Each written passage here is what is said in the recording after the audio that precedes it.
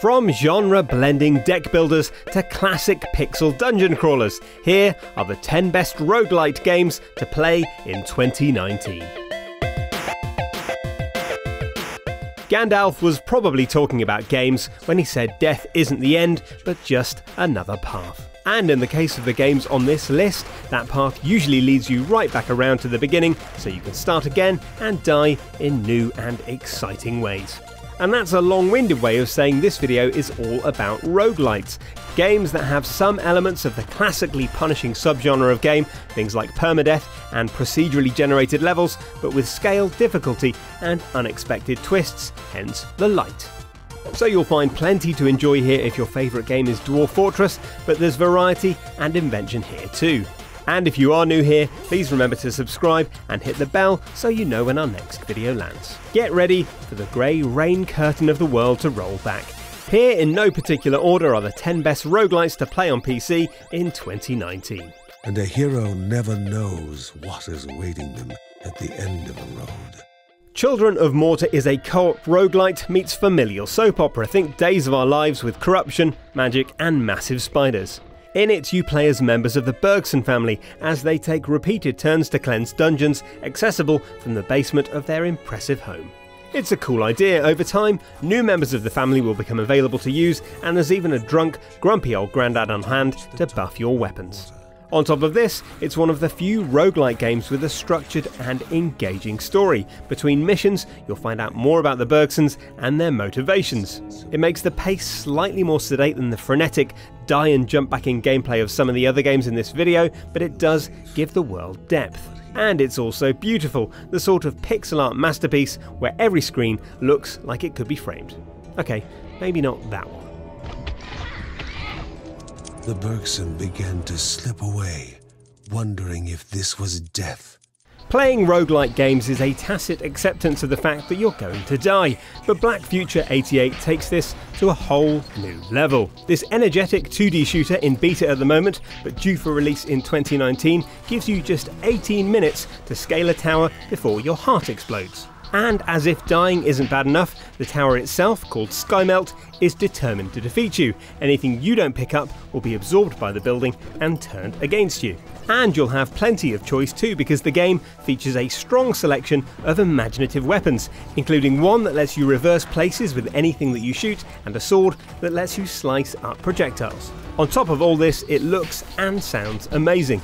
It takes place in an alternate version of a neon lit 1980s with an incredible pulsing synth soundtrack and a series of crisply designed bosses called Wardens. Because yes, you're going to die, they're going to die, we're all going to die, but at least we'll look good doing it. This simple looking top down adventure might look predictable, but honestly, it is anything but. Even the character select screen is surprising. Yes, you could be a soldier or a scientist, but why would you do that when you could be a literal gorilla? Streets of Rogue is a game crammed with wild, emergent ideas, but it rarely feels overcomplicated. And despite how immediate it feels, perhaps the best thing about it is how many options you have when it comes to solving problems. Trying to get past that locked door? You can pick the lock, blow the door up, or with the right pharmaceuticals, inflate yourselves to absurd levels of hugeness and smash down the door and the walls that surround it. It's like Alice in Wonderland meets Heat. And if all that isn't enough to sell you on the idea, hit the link in the description to try the free version on itch.io. It's exactly the sort of teaser that'll make you crave the full game. Many of the games in this video take place in a 2D environment or use a specific gameplay twist to slow things down. The excellent Risk of Rain 2, however, is the most ballistically energized game on this list. The sequel to the excellent original lets you and up to four friends try and escape a world full of endlessly spawning monsters and gradually increasing difficulty. Wait long enough, and the creatures that were once bosses become standard mobs. To combat this, you unlock inventive, powerful items as you play by earning enough cash to buy buffs and power ups that will tip the odds in your favour. The result is a twitchy, fast paced third person shooter that recalls the best bits of playing a Battle Royale game with less of the frustration. It's incredible when you're tooled up enough to feel invincible, and wonderfully disappointing when the game proves you're not. Alright, we'll have one more go. One of the beauties of doing a roguelite list is that we can include all sorts of games that stretch definitions and provide inventive, encouraging takes on a sometimes brutal genre. And Slay the Spire is a great example of a game that takes some roguelike elements, random levels, punishing combat, and permadeath, then mixes them flawlessly with deck building mechanics. The result is a game that feels different every time that's constructed so well that you'll learn to love it even if the thought of Gwent or Hearthstone or Magic the Gathering has you breaking out in hives. Because yes, it is all about cards, but the interplay between abilities and the crystal clear way it's explained makes Slay the Spire a uniquely thrilling experience. If you want a roguelike game that gives you time to stop and consider your actions, but also makes you feel like a strategic mastermind, Slay the Spire is the sort of title you can lose days and weeks to. Bonus points for having one of the most satisfying lightning animations in all of games. Look at that. The fact this is a roguelite list might put some people off, but if you've lasted this far into the video, let's be absolutely clear. Whatever types of game you like, you should try Dead Cells. And that's partly because it's a mix of so many revered genres.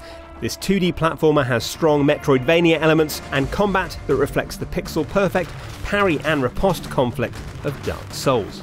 And in case you hadn't noticed, it's visually impeccable, literally dripping with pixel art that makes all the other indie games look like fire damaged Lego. The seductive animations and brilliant character design make for the sort of grimy, bleak, low fantasy world that you wish would get made into a TV show. But the most important thing is how it feels to play, and Dead Cells feels incredible pacey, fluid, and with a real sense of variety and impact of the weapons, this is an endlessly repeatable undead dream. We love a bit of Moonlighter here, which is why we featured it in a couple of previous videos, and with good reason. It has the dungeon delving elements of Stardew polished to dangerous levels of sharpness, combined with a shopkeeping angle that will make you rethink how you look at retail. These two things combined provide an endlessly compelling gameplay loop. Everything you sell has a story behind it, usually one of you risking everything to stock your shelves, even if your customers don't quite appreciate it. And perhaps because of this, even pricing up your goods is exciting. Of course, none of this would be enticing unless the actual act of grabbing loot was enjoyable, and the good news, as you can almost certainly tell, is that Moonlighter feels great to play stylish and challenging with an emphasis on mastering your weapons, timing, and environments. Throw in some solid upgrade mechanics and the chance to get to know your neighbours in the commercial hamlet of Rynoka, and you have an action RPG that masterfully straddles commerce and combat. Somebody should spare a thought for the humble dice, always there for us in the background being thrown about and used to make our lives more exciting. But when will dice get to star in their own game? Well, apparently it's now. Dicey Dungeons is another deck building roguelite, this time from Terry Cavanagh, creator of Super Hexagon and the letter V six times. You guide different classes of multi sided heroes through procedurally generated dungeons at the whims of game show host Lady Luck. Think of it like the Running Man meets Craps and the variety of enemies just adds to the element of the unknown. One moment you're fighting against pirates, the next against a baby squid, all rendered to perfection by artist Marlowe Dobbe. But maybe the best thing about Dicey Dungeons is the way the combat works. You have to slot your moves into a pleasing rectangle, then perform them depending on the nature of your dice rolls. It doesn't sound exciting, but trust me when I say there are few things in games more satisfying than rolling all the numbers you need. Hmm. Look at that.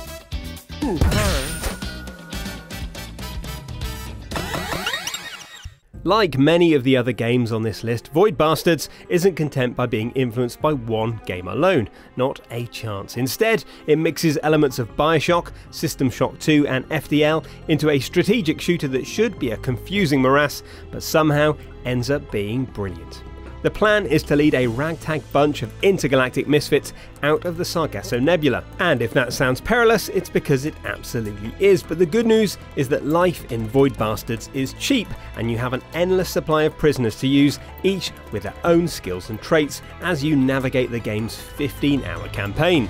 And even though it should be staggeringly obvious from the footage, Void Bastards looks incredible. The sort of bold, cel shaded feast for the eyes that doesn't seem real until you've seen it in motion. Love it. Sunless Skies, as you may have guessed, is the aeronautical sequel to The Incredible Sunless Seas. In it, you take over as the captain of a locomotive built for off rails travel, chugging through the stars as you try and keep your crew sane and your pockets full. And like its predecessor, the thing that keeps Sunless Skies interesting is the story. Every new game is like a rich, emergent gothic fairy tale, full of narrative devices that somehow interlock and create something new. Every mission, every discovery, and every new officer you recruit all contribute to the greater whole, and that somehow makes it more palatable when you die and start again because, yes, you've lost progress, but at the same time, it crystallizes the experience of your expired captain. If you want a roguelike game that blends exploration and incredible writing into one of the most imaginative worlds in gaming, board Sunless Skies with haste. Just, you know, don't ask where you're going. And there you go, pop back to the start of the video and watch it again for the full roguelike experience, or you know, just give this video a like if you enjoyed it. And don't forget to hit the subscribe button and ring the bell so you know when our next video lands.